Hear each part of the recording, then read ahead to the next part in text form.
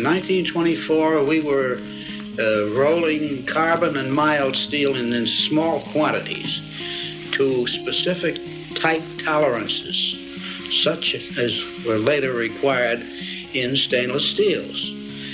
Now, with stainless steel coming into the picture, more than ever, people required experimental runs of small quantities of stainless steel called 188, which was developed from the old KA2 German days. We were the only firm in the country that could take an order for a small quantity of stainless steel. In 1924, my father, Fred Ulbrich Sr., started Ulbrich. My father was a product of Wallingford, Connecticut.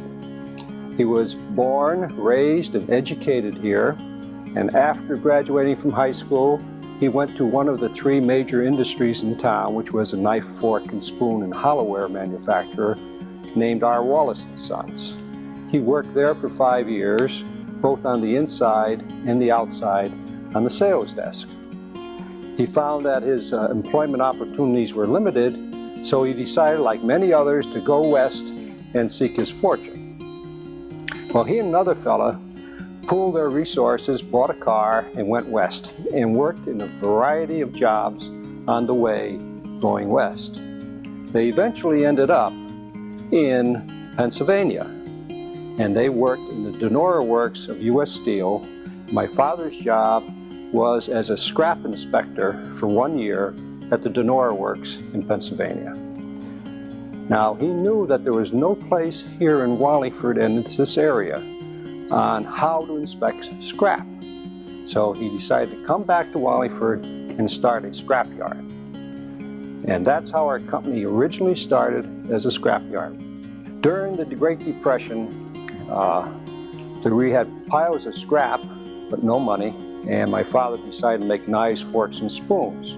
The Meriden Wallingford area was second only to Sheffield, England in the manufacture of cutlery. So it's natural that he went into this business also. What happened when the Second World War came along was that the government decided that Ulbrich, namely himself, would make the Army mess kit knife. But since the rating for this particular product wasn't as high as, for example, ammunition, he couldn't get the exact thickness and width that he needed.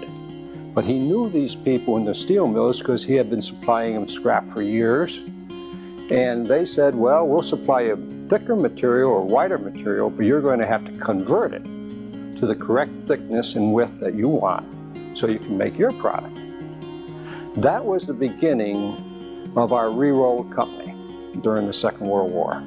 Well, after the war and after, after having gone through making more knives, forks, and spoons, he decided to sell the knife, fork, and spoon company eliminate the 24 or so scrap companies, uh, scrap customers that he had, right? And with the proceeds, buy a quality mill so that we could become a precision re-roller.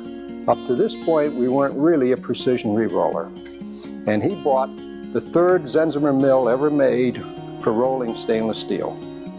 And that was a precision rolling mill and he placed a purchase order in 1955 and we received the mill in 1956 and on the mill there's a, uh, a decal that says T. Sendzimir 1956. That's the date that we became a quality precision re-roll strip mill.